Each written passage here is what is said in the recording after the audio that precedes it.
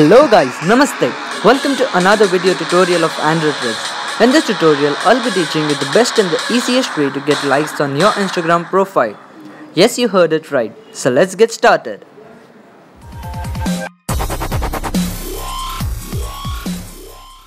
So the application you need is InstaLike Get Likes Instagram. You can download it from the link given below in the description box. The UI of this application is very simple with only two options right below the picture which are skip and like. The images which are shown are of the people already using this application. You get one coin for every picture you like. Once you get 40 likes, you can go to get likes option and all the images of your profile will be seen there.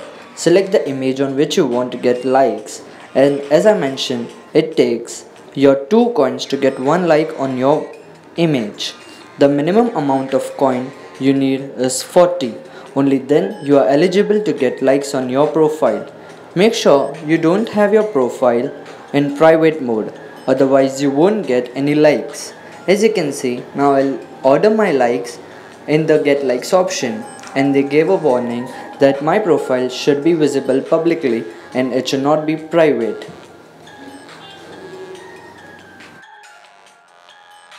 Once you have ordered the likes, go to the app and you will see that you have already received the likes.